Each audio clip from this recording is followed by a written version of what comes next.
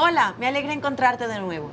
Gracias por acompañarme una vez más a ver un juego clásico especialidad de la familia EGT, apto para todo tipo de jugadores que gustan de la nostalgia y con grandes posibilidades de bonificaciones.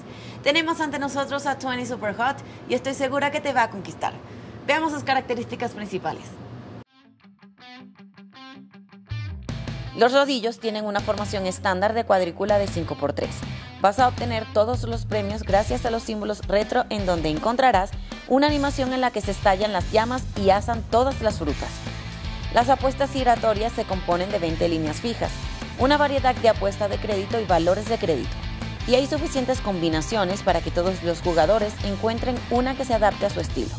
Las apuestas de crédito oscilan entre los 20 y 400, mientras que los valores de crédito entre 0.01 y 0.1. Hablemos de los símbolos en 20 Super Hot. Los premios de menor denominación son los melones y ciruelas, pero incluso estos pagan hasta 2.000 monedas.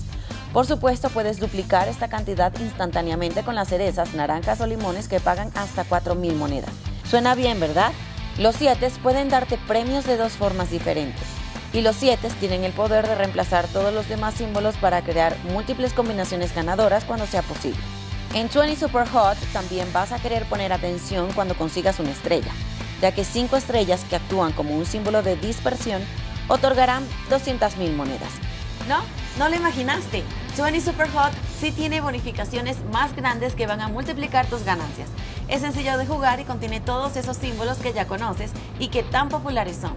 Así que sin duda es un gran juego para probar en tu siguiente visita a Caliente Casino. Recuerda dejar tu opinión en los comentarios de este video, activar las notificaciones del canal. No olvides seguirnos en todas nuestras redes sociales para que veas todo el contenido exclusivo que tenemos para ti.